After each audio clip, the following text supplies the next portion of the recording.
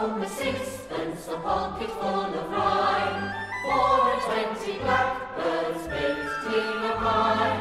When the pie was over, the birds began to sing. Margaret had a dainty dish to set before the king?